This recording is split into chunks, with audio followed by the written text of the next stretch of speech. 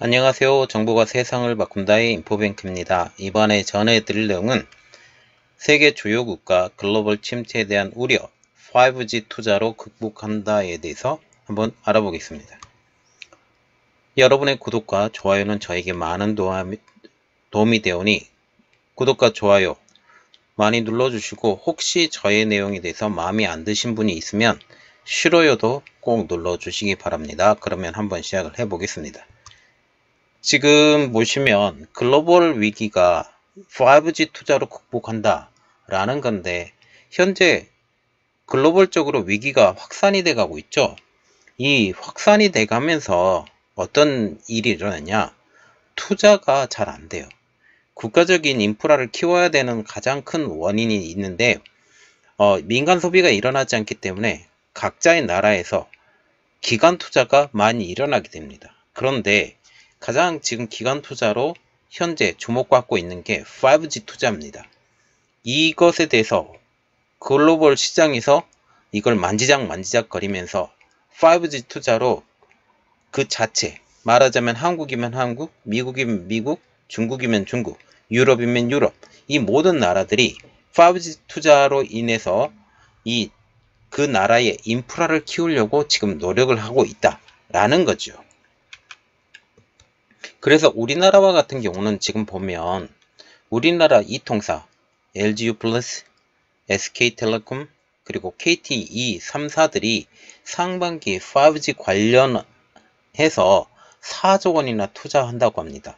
원래는 2조 7천억 2조 7천억 원 정도 했는데 예상을 했거든요. 올해 정도에 상반기에 그런데 이 금액을 50%나 늘렸다라는 거죠. 말하자면 하반기에 투자를 하려고 했었던 것을 상반기에 땡겨서 이렇게 투자를 한다 라고 하면서 지금 가장 큰 원인이었던 경기가 소강 상태에 있죠.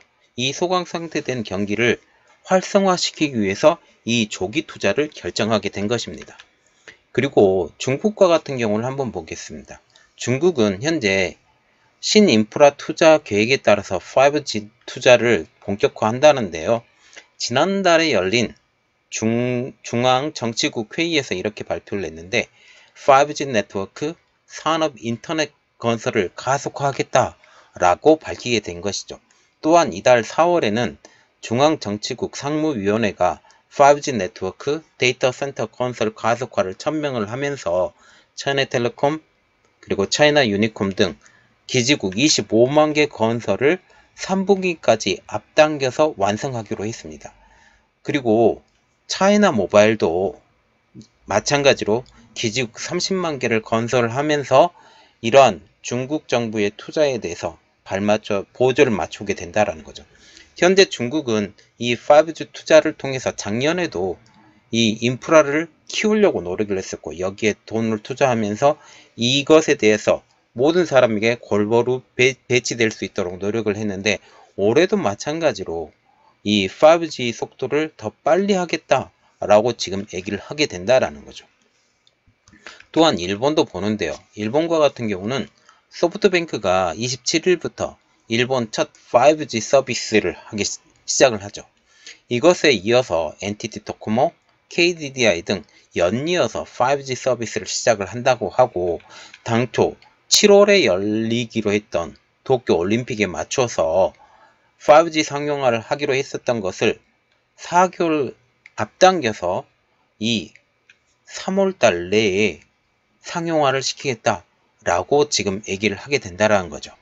또한 그뿐만 아니라 라쿠텐 모바일이 지금 4대 그 이동통신사로 올라오게 되는데요. 이 라쿠텐 모바일도 6월달 5G 서비스를 시작할 계획이라고 말을 하면서 가격 경쟁 그리고 5G 투자 경쟁이 지금 본격화되고 있다라는 겁니다. 또한 미국도 한번 보겠습니다. 미국 같은 경우는 5G 이니셔티브 계획에 따라서 2,750만 달러, 한국 돈으로 327조 원 규모를 투자를 하고 사상 최대 주파수 경매와 펀드 조성에 나선다라고 지금 이렇게 하는데요.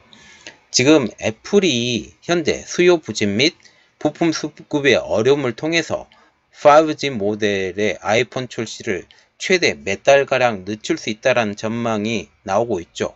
이것에 대해서 시장이 불안감이 현재는 커져가고 있지만 인프라 투자 기조는 꺾일 가능성이 높아지지 않고 있습니다. 그리고 특히 미국 같은 경우는 지금 삼성전자가 어, 깃발을 날리고 있는 상태이죠. T-모바일, 뭐 브로드컴, AT&T 이 모든 회사들이 자 지금 US 셀룰러까지 해서 그 미국 주파수의 80% 커버리지를 갖고 있는 어, 미국의 5대 통신사 중에 4개 통신사를 지금 삼성전자가 갖고 있으면서 어, 여기서 엄청난 성장을 하고 있습니다. 그래서 지금 보면 전문가는 이렇게 분석하고 있는데요. 김홍식 하나금융투자연구원은 이렇게 말을 하고 있습니다.